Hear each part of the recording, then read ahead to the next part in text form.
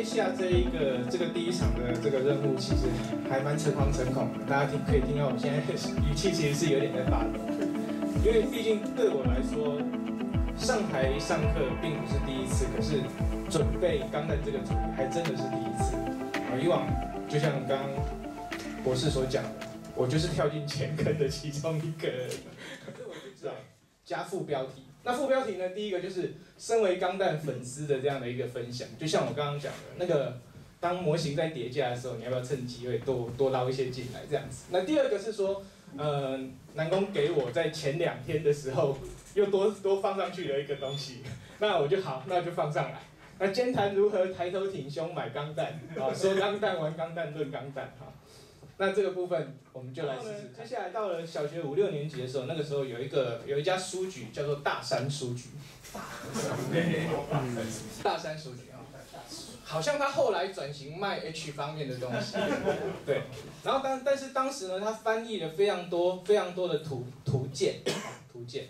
那比方说钢弹的图鉴啊，或是什么机器人的图鉴，非常翻译的非常非常多。那我就在差不多小学四五年级的时候呢，就接触到这个东西，一本八十块，当时的定价啊。那其实设定的翻译的还不错，只是说因为当时的法令，他必须要做一些修改，就是翻译的是刘万来先生，那他他把钢弹这三个字翻译成甘达姆，其实是更接近原来的原来钢弹的那个声音的日文的发音的。那里面有一些东西，它一定因为政府的关系，所以它一定要做修改，因为不能出现日本人的名字，所以大和原邦男就变成王邦男。对，就类似像这样子的哈。怪异情博士。对，然后呢，怪异情博士也都大概是那个时期。那这一本呢，啊，就是《机动战士钢达姆大百科》啊，这一本呢，非常仔细的把我当初一年级看不懂的相逢宇宙篇呢，啊，他是没有讲，他是没有翻译电影版的部分啊。但是它里面从第一集到第四十三集，每一集的故事剧情全部写出来。好，那中文的啊，啊，所以呢，看完这一本以后，其实就知道说他在大概在在讲什么。那这个时候已经有录影带出入店了，我就特地再跑去录影带出入店里面再把《香火周片》来租回来看，我就发现哦，比以前看过更精彩，这样变成是这样的一个状况。然后刚刚讲过，到了大四的时候呢，算一算自己手边的 A C G 值资产已经累积突破一百万了。但以钢弹模型为大宗，但组装率只有百分之五。那所谓的钢弹，接下来就进入正题啊。所谓的钢弹，来，有没有有没有在座的伙伴在玩那个在组装模型的时候？然后你的爸妈跟你讲说，哎，你这么大了，你还在玩无敌铁金刚的，有没有？有，有没有？有哈。没有，爸妈讲机器人。啊，对，就机器人嘛，哈，机器人算是比较中性的词汇。那无敌铁金刚呢，可能表示他们有看过。好，那接下来呢，就是第二个部分呢，会讲到就是说，哎，女性同胞眼里的钢蛋，啊，基本上是醒醒吧，阿仔哈。然后呢，再来，老婆眼里的钢弹。长得不是都是一样吗？啊，好，长得长得都是一样。那再接下来，媒体里面的钢弹，好，就像刚博士介绍过的，每某一个玻璃破了，然后被钢弹所伤这样子。好，那我们眼里面钢弹呢，今天会来的，基本上应该可能有这个概念哦，非常的像神一样的一个崇敬。好，那在班达眼里面的钢弹呢？就是钞票，啊，就是钞票。呃，五月的奖题哦，五月奖题是最后一张。对，所以呢，这个讲这样的一张呢，在当初一开始的时候呢，哦，博士定出来这四个题目的时候，我发现，哇，这一张全部包在里面。然后我还很不知好歹的呢，就跟博士讲说，可不可以从这一张开始？哦，所以就自食而果。那我们刚刚讲过了哈，钢弹。钢弹对你来说，可能每一个人有不一样的一个想法。那第一次接触钢弹印象可能不一样。那如何看待钢弹？好，这个这个部分呢，因为各自表述，其实我们会讲不完，所以呢，我们就先看一下哈，在一个正式词面上的一个定义。好，大家看到这这样子的一个格式，就知道这个是维基百科贴出来的。但是我觉得目前啊的维基百科其实编的还算不错啊，所以呢，我就直接运用哈。那日语还有钢弹。好，那英语的或者是钢弹，好，那意大利文他们在唱那个钢弹的主题曲的时候，他们是念 Gunda。对，好，我今天可能没有把 MP 三带，不然其实他们那个钢弹 W 的那个主题曲，意大利文的的版本其实还蛮好听。你就大家各也是其实有点类似各自表述啦，不过大部分的人都用是第二第二种的一个定义哈。那底下的这个，为什么一支枪放在水坝上？哈？对，因为钢弹，前面这个钢呢，杠呢就是机温嘛，就是枪嘛啊，然后后面这个弹呢，就是指那个水坝的坝哈，所以枪坝就是枪放在水坝上，然后花的钱就会越来越多这样子啊。本来可能是一个马克杯呢，在路边啊，说的是那个什么漫画便利屋，大概三百块可以买到一个，上面就是印一个钢弹的图案在上面。久了以后，你会开始发现，这个太 low 了，我要这一种的才行。对，然后呢，开始那个坑就越跳越大。那搞不好哪一天突然觉得这样衣服只有这样也不够，可能要开始别徽章上去，军阶要别起来这样子。好，所以钢弹是生活。好，好，那讲到说我父母眼中的钢弹，好，因为在钢弹诞生前的一个世界，其实不在日本来说，不管在日本或台湾，其实它都是一个超级机器人环伺的一个世界。好。在台湾来讲的话，以在日本来说的话，哈，它当时跟它同一个时间播放的，哈，有像比方说在台湾播放过的《巨兽王》，好，在也许大家可以再更仔细的去翻一下的话，哈，在超这本超级机器人大件里面呢，这最后面它有把所有的年代都列出来，那你就可以对照出每一部钢弹它跟它同时上映的时候呢，是属于哪一部作品，啊，有哪些作品。那你就可以知道说，他其实初代钢弹，他之所以能够带领着后续的这些作品，能够在第一部的时候一炮而红，那他的有他的一个时时代背景在哈。那因为他本身做了一些比较细微的一些设定啊，以前呢都是一个非常热血的英雄，然后呢他出来打击恶魔这样子哈，然后到了遇到了问题的时候，遇到危机的时候呢。然后就 power up，就是叫那个他的机器人出来，有没有？然后接下来就很顺利的能够把这个坏蛋给解决掉。啊，以前走的都是这一套。那但是呢，到了那这时候，其实你很多人都会去想说，看过无敌铁金刚都会想说，哎，那坏人为什么那么笨？为什么不会一次动用个十台、二十台一起上？那无敌铁金刚就挂了，对不对？啊对，所以就后来。稍微补完了一下，但是可见那个数量还是不够，因为没有他们没有被我中了一弹，我也就挂了这样子啊，所以它这个就是这个就是超级系跟真实系的一个区别哈。那在一九七零八零年代的台湾机器人动画环境，当时呢我们还在播日本已经下映很久的，像比方说无敌铁金刚这些这些动画啊，所以升值在爸妈这一代的眼中，我们那时候还是小朋友，那我们看的时候呢啊。也许我们可以去区别它的不一样，但是呢，父母眼中呢，他就认为说啊，这些都是无敌铁金刚，好，所以这个也是没有办法的事情。但是也许到了下一代的时候，你如果没有搞清楚的时候，那下一代不管在玩什么，哎，你你都在玩钢弹，一样的，它是就是 BB 弹射出 BB 枪射出来的那个子弹的那个圆形的子弹，它如果是钢材的话，那就叫做钢弹啊。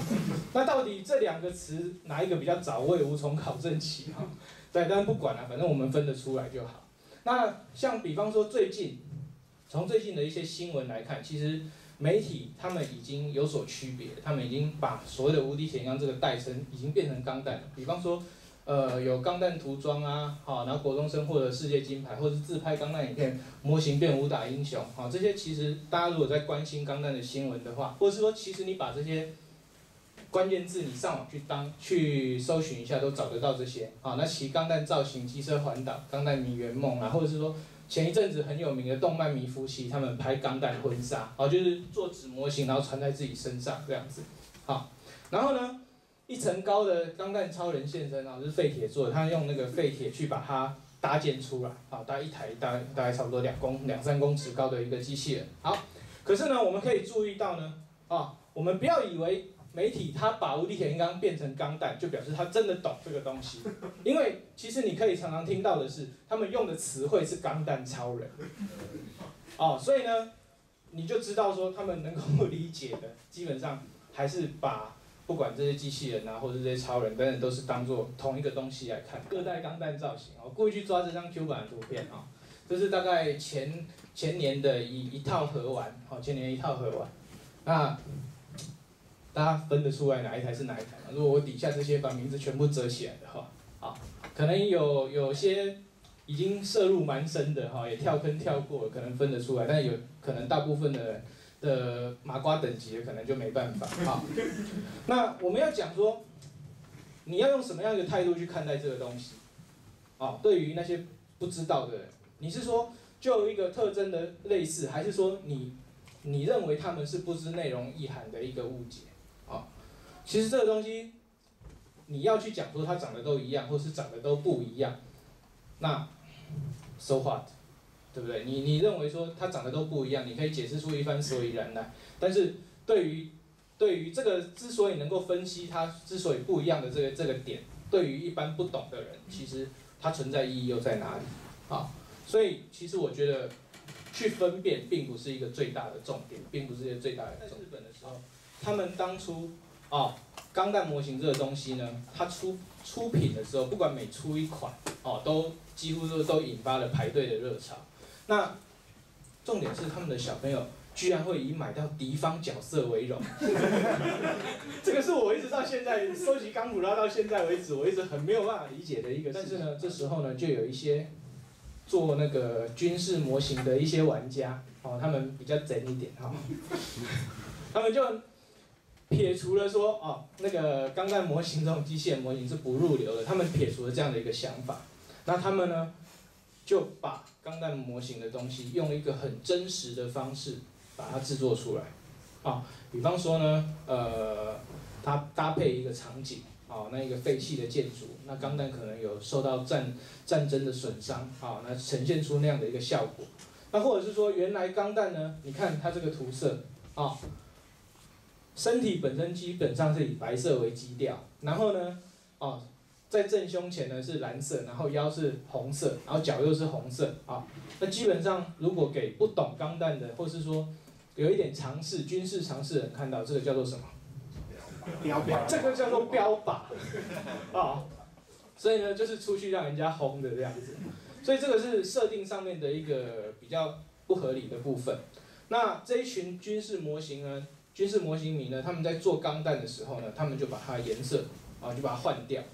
比方说，你今天你是在一个丛林里面作战，那你身体的涂色可能就会比较偏向绿迷彩啊。那你如果今天是在沙漠里面作战，那你整台钢弹的一个配色应该是是那种土黄色的那个样子。那这时候有另外一部漫画啊，这时候我们就开始要慢慢跳脱钢弹只有动画的这样的一个概念。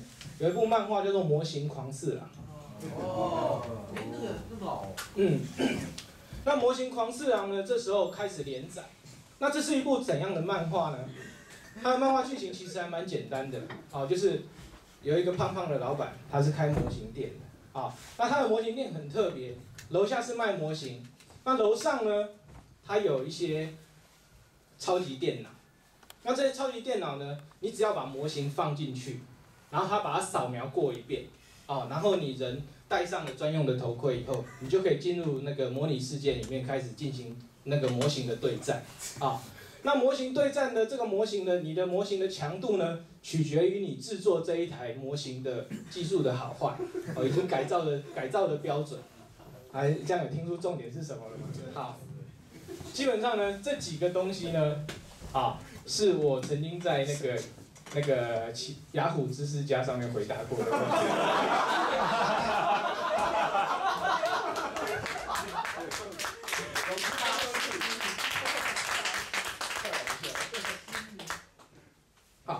所以呢，因为曾经回答过这些问题，所以我才发现说，我原来可能可以解释一下这一张图。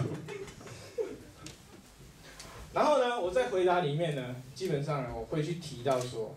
因为你你要讲说，呃，要对一个不懂钢弹的另外一半，你要或是你喜欢的人去去解释说这个东西有多么高深，或者是多么多么值得收藏，或是怎样，其实那个东西是不，这个动作其实是不切实际的，哦，是真的不切实际，除非你有办法把它拉进这个世界里面来陪你一起烧钱啊，好不容易进入我们 正题，好，好，这句话是什么？日立钢弹的名言。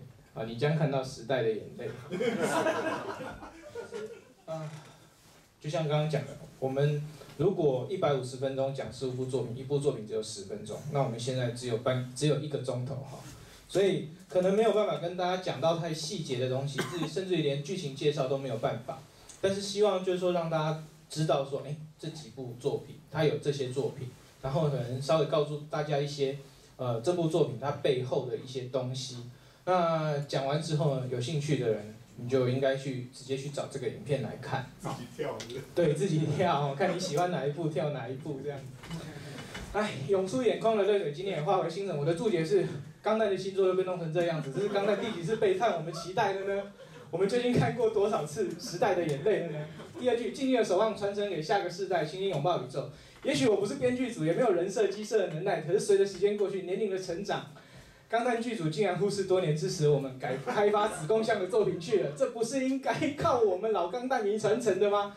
可是即便是分析了骂了，我们又能怎么样呢？接下来在永无终结的苦难深处，激动的脆弱愿望。好，可是以往那些当下不承认的作品，最后我们还是选择接受了，还是承认了。就算这样，我们还是对于下一部作钢弹作品充满期待，不是吗？然后呢，将必行之路只是引导。不但承承认了，而且还讨论了、研究了，购买你们出版的周边商品了，完全按照你们想要的模式把钱贡献出去。接下来，好副歌的部分，在你之中的英雄啊，钢弹是心中的英雄啊。姑且不论钢弹学院成立与否，日本热衷研究机器人的走向，更别谈多少人因为钢弹而选择了所念的科系，花光了零用钱，将唤醒未来的你，就是希望能够在钢弹的名下尽一番心力啊。破灭重生，即使这一部钢弹作品无法满足我们，也许也会期待下次会更好。重生轮回，即使你们总是安排钢弹被偷，殖民地与地球圈永远对立，我们都照单全收。进化重复，其实即使你们的玩具模型不断出版，设计上也也许只是稍微改版，我们也照单全收。改变无需恐惧，钢弹各部作品我都承认，周边也买，那我还怕什么？就算失去光明，思念也将连接，直到与这笑容重逢之日。我的岁月和荷包都只剩下钢弹，我已经被认为是阿仔了，所以我们来开讲座吧。然后希望大家都能够在这系列讲座里面觉得。很很爽就好了，所以这是刚刚的编年史，我们就跳过去了。有兴趣的再看。各位，刚带回来就交给你们了。